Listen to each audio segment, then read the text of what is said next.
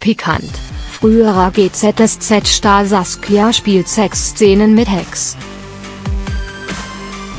Ob diese Zusammenarbeit gut geht?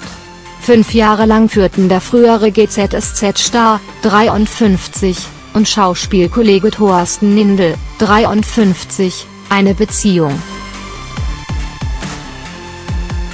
Die beiden hatten sich 2011 während der Dreharbeiten zur ARD-Telenovela Rote Rosen kennengelernt und waren nicht nur vor der Kamera ein Paar.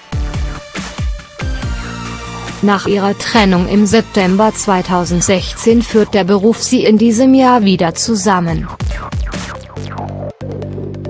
Der Name des Münchner Theaterstücks Eine Mittsommernachts-Sexkomödie ist Programm, die Ex-Partner spielen gemeinsame Liebesszenen. Die Vertragsverhandlungen hätten schon vor dem Ende ihrer Beziehung stattgefunden.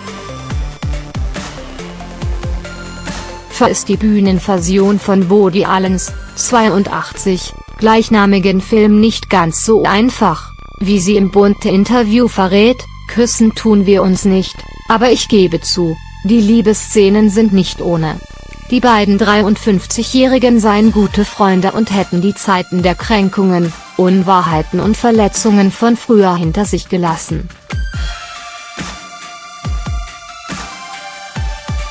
Thorsten hat keine Probleme, die intimen Parts mit seiner früheren Freundin darzustellen. Saskia und ich verstehen uns super und ich bin heilfroh, dass ich diese Rolle an ihrer Seite spiele.